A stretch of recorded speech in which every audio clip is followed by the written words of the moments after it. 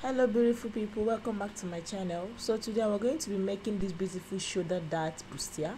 So if this look at what you're interested in definitely keep on watching. I've gone ahead to draft out all the necessary body measurement that i'll be needing. This is the shoulder line okay? This is the bust points this is the under bust and then the full length of the top okay? So the first thing i'm going to go ahead to do is to take the neck measurement all right so this is just a standard neck measurement. So you are going to use three by three inches okay? This is not going to be the actual neck measurement of this top but for this drafting process we are going to use that right so le later on we are going to go ahead to draft out the main neck we are going to be using. So for now this is what we have. And then we are going to divide our shoulder measurement by two. And whatever we have we are going to place that here. We are going to place that here and let it be for now okay? This is my shoulder measurement divided by two all right? So the next thing i'm going to go ahead to do is to get my nipple to nipple measurement okay? So my nipple to nipple measurement is four so on the bust point i'm going to input 4 okay? My nipple to nipple measurement divided by 2 is 4 then on the under bust point i'm going to go by three and a half and on the full length three and a half as well okay? So when i've gotten this i'm going to go ahead and connect these two lines.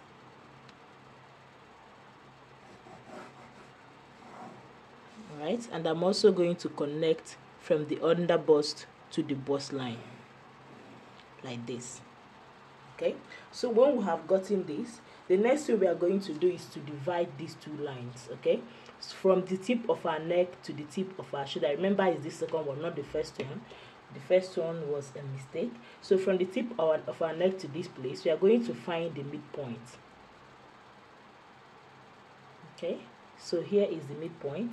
We are going to connect this midpoint back to our bust line with our stretch roll okay?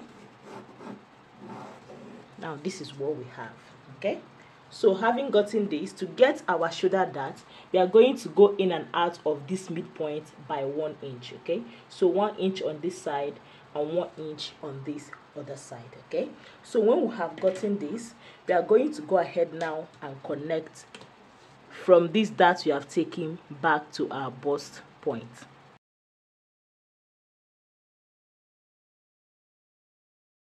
Right so this is what we have. This is what we have here okay? So whatever we have here now we are going to go back to our sh um shoulder line okay? So remember that this is our shoulder line okay? So whatever we have here we have two inches we are going to replace it here okay? So this is what we have then on that point we are going to come down by one inch for our shoulder slope okay? So we are now going to connect this one inch back to the tip of our neck all right so this is what we have. Then from there we are going to come down by armhole depth which we get by dividing our bust measurement by four and adding one and a half to it okay? So when i've gotten this when i've gotten this i'm just going to take whatever i have from here to here okay? This is just so i can get a straight line okay? I'm doing this just so i can get a straight line okay? But it's not compulsory you just you take it across. So let me just take it from here okay? So i will not have to take it from the beginning all right? I hope you understand what i'm saying okay it doesn't matter whether you take it from here or from here. What eh, what matters is that you record you take this line so you know that this is your chest line okay? So after doing this the next thing i'm going to do is to connect okay from here to this line okay? So whatever i have from here to this point is nine and a half. I'm going to take it here so i can get a straight line on that part as well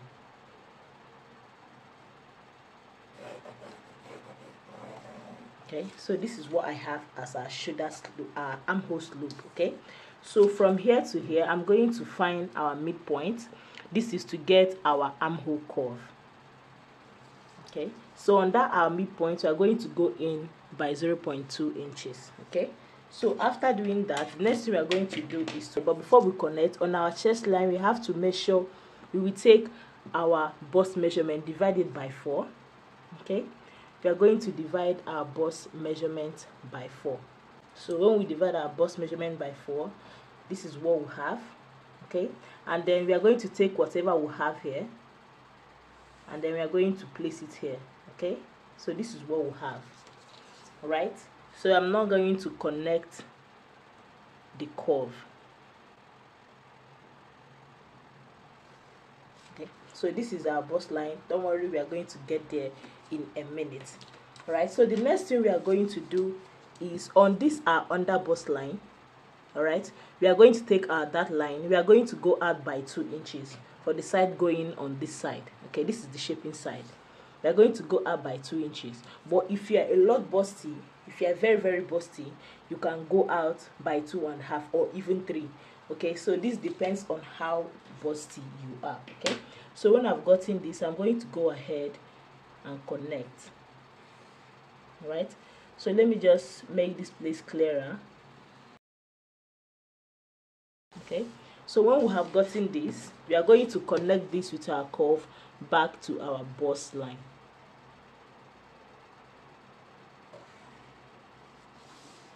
Right? So this is what we have.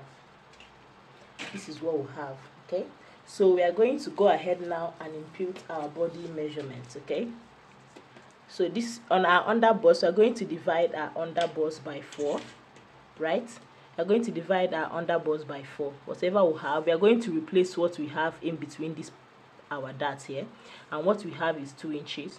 We are going to replace it here. So we are also going to divide our waist measurement on our full length of this top and then also replace whatever we have here okay? So that is what we did here. And after that we're just going to connect with our ruler. So if you are very curvy this is not the shape of what you are going to get. You are going to get something better okay? Something a little curvy okay? So remember here we have not added any stitching allowance. We are going to add our stitching allowance later when we are drafting this on our actual fabric okay? So this is what we have we are going to go ahead now and cut out okay? So this is the part that is going to be cut out. This is the shoulder part. We are cutting this part out. And we are also cutting this dart on the under bust out. Okay? So this is what we have okay? And for the neck remember i told you that this might not be the neck i'm going to be using but we are going to leave it at this now so that later on after we are done joining we're now going to trim out the neck. We are going to give the neck the desired shape that we want.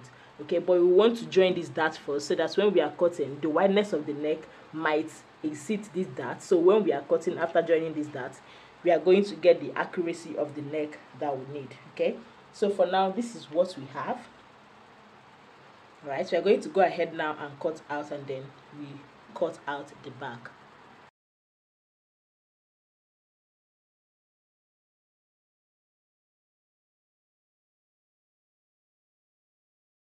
for the back i've gone ahead to also draw out all the necessary body measurements. This is the shoulder line the bust point under bust and full length of this top okay?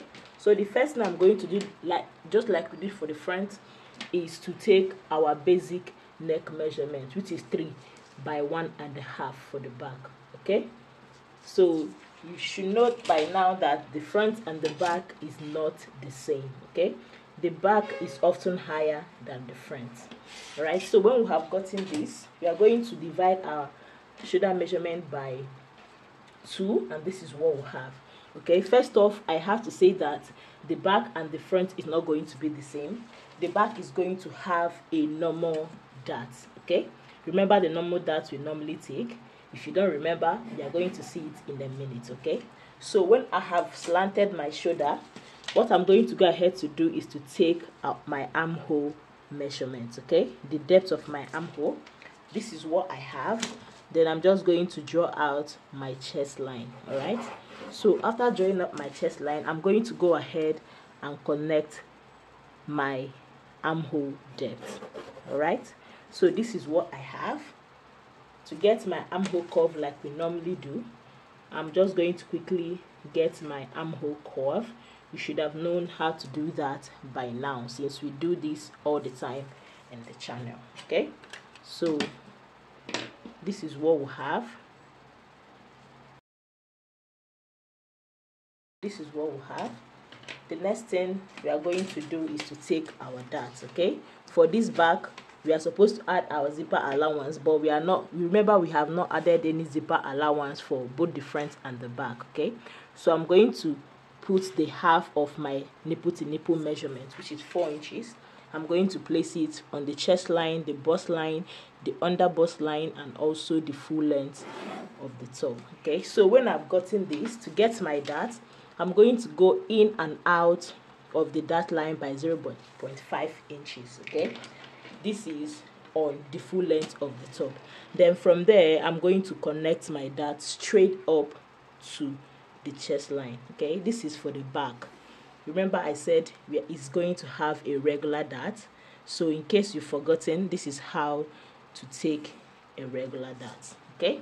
So when i've gotten this this is what we have. I'm just going to make the length clearer so we can see where we are working from exactly okay? So having gotten this we are almost through with the back. Just input your basic body's measurements and then replace your dart where is needed.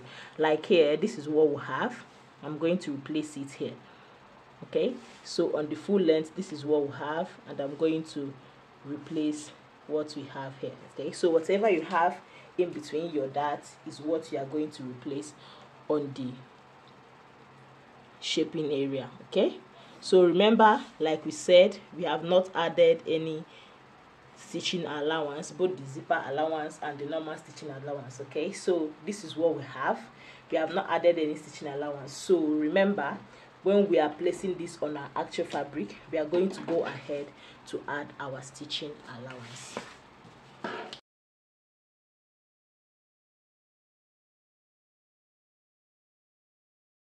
So having gotten that the next thing i'm going to do is we are going to remove the zipper the zip bulge on this back. So to get rid of the zip bulge what you are going to do is on your waistline you are going to come in on the center back. Remember that this is the center back by 0.5 inches. That is half of an inch okay? Let me label this the center back so we know what we are doing okay? So from there i'm going to take a line straight to top of the chest line okay? On a slanted form this is to eliminate zip bulge okay? So we are going to cut this place out okay? So i'm going to go ahead now and cut out. Have for the front we have not cut the neck part. Remember we said after joining the dart we are going to cut the neck part. And this is what to have for the side for the back. We didn't cut the neck part as well okay? So this is what we are going to use to trace on our actual fabric. This so these are all the materials we'll be needing. This is a very beautiful african fabric. This is the ankara fabric okay? So this is uh, a, a hairstay that i'll be using to interface my fabric this is the foam pad I'll be using. I don't know if this is going to be enough but I'm going to see okay?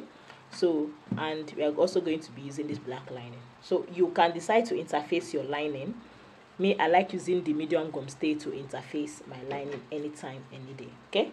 So let's let me interface the all the fabric I'm going to be using and then we go ahead to start cutting out after we were done interfacing this is what we have. I just placed the front this is the front part. I placed it on my actual fabric and then i go ahead to add 0.5 inches all around. This is the center front right? So 0.5 inches all around. Then on the side front i did not add anything on the armhole and on the shaping side i added one and a half inches for both the turning of the lining and the shaping okay? So i'm going to go ahead now and cut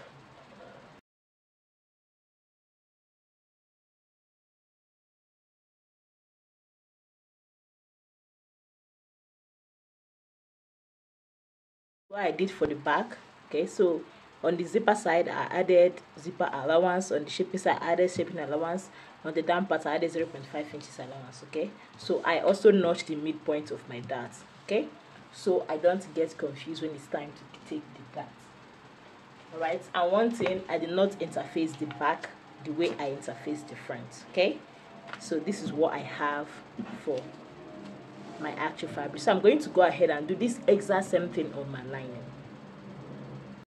Now so you have to go ahead and notch your underbust okay? So i forgot to say this when i was cutting out. Notch your underbust. So this is the foam pad that i said i was going to use and i folded it into two okay? So i placed my center front like this and i made sure the foam pad is at least 0.5 inches below the underbust that i notched okay? As you can see this is the underbust and this is where the foam pad is okay? So this is how I'm going to cut it out. I'm just going to trace it out like this okay? And for the down part I'm going to cut it in a sweetheart form okay? So this is what I have this is for the center front. Okay let me just place this so we'll see how it's going to be. Okay this is how it's going to be looking.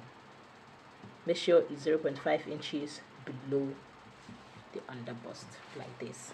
Okay so I'm going to go ahead and cut the side.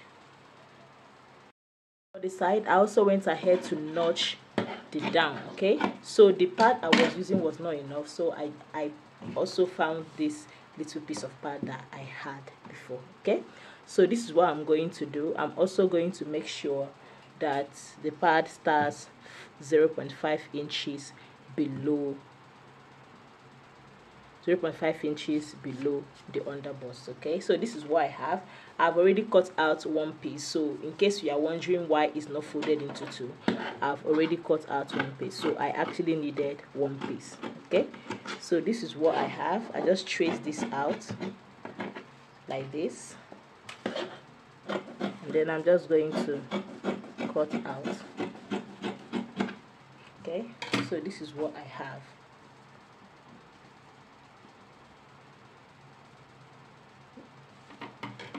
let me just shape this. Okay? This is what I have for both sides of the cup. Okay? So let me just place this. This is what it's going to look like. Okay? So that is all for the cup part. At this point this is what we have. We are going to go ahead now and start joining. Okay? So this is how we are going to join right? So you're going to join making sure that the two notches you left on the underbust is aligning. Then you're going to join from there down. Then you come back and join up okay? Make sure you're joining with 0.5 inches okay? I'm going to do the exact same thing on this side as well. I'm going to make sure i'm joining with 0.5 inches and that the two notches are corresponding okay? So i'm going to go ahead now and join. Have after we are done joining and ironing it. So after we are done joining it I notched it as you can see. Then I pressed it open. Okay? I pressed it open. So this is what we have. This is what we have. Okay? So the next thing we are going to do is to fold this. Make sure we get the center so we can go ahead and cut the neck part. Okay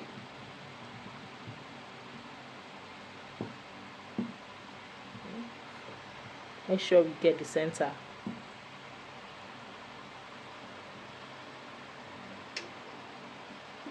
So this depends on how wide you want your neck to be okay? So I want my neck to be wide so I'm going to use 5 inches okay? Have you seen that these have passed the dart line okay? For the depth I want this to have a sweep hat neck. So I went in by five um, by seven inches okay? So I'm just going to connect. All right this is what I have. I'm going to cut like so. So this exact same thing is what I'm going to go ahead to cut on my lining as well. As you can see this is what we have okay remember what we used was five inches for the width. So when we are cutting on the lining as well we are going to use five inches for the width. For the back sorry we are going to use five inches for the width as well. I place both the actual fabric and the lining together and then I measured 5 inches. Remember that that is what we used for the front okay? I measured 5 inches sorry I'm supposed to measure 6 inches because 1 inch is for our zipper allowance remember. So I'm supposed to measure 6 inches and not 5 inches okay? So for the depth I'm going to use one and a half for the depth okay? Because the back is going to have a high neck. And this is what we have. So just just so we are on the safer side I just want to measure this and ensure that we have the correct width okay? So this is what we have for the back all right? I cut both the lining and the fabric together and this is what we have for the front. I went ahead to cut down a little bit when I placed this on my body and it was high. I went ahead to go down a little bit okay? So I'm going to do the exact same thing for the lining. So after the lining after cutting it out we are going to turn everything with the we are going to turn both the lining and the um, actual fabric together. Um, top is not going to have a sleeve. I started to turn everywhere including the armhole okay? So what i went ahead to do is to join the lining for both the front and the back and then the clothes for both the front and the back as you can see okay?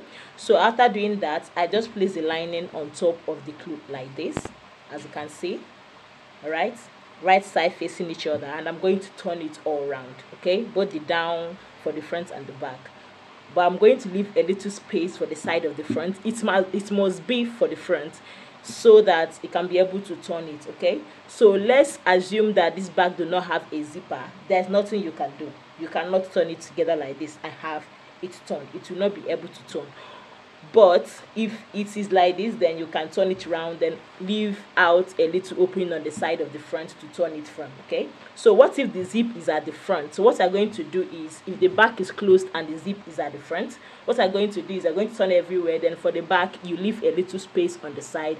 So from there you can turn every other place out okay? I hope you understand this. So i'm going to go ahead now and turn.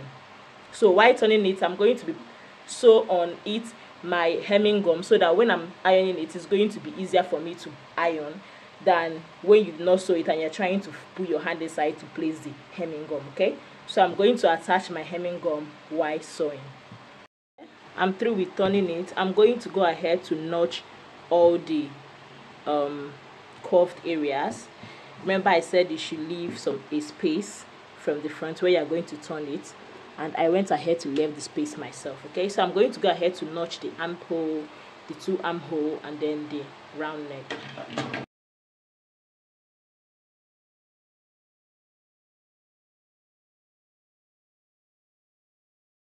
So remember I said you are going to attach your hemming gum while you're sewing it? So I attach my hemming gum on all the vital areas.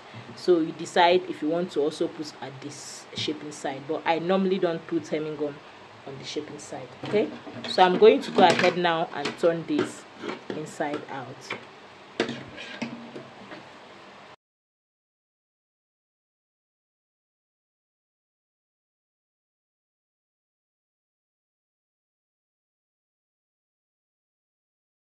This is what it looks like after we are done turning and ironing it. This is how beautiful it looks. This is the back so i also went ahead to put the dart for the back and the zipper okay? So the next i'm going to do is to shape okay?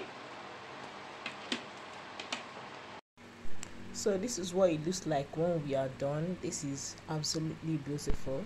Tell me in the comment section if you are going to try this out.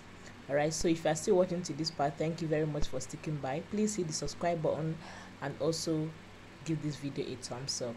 Bye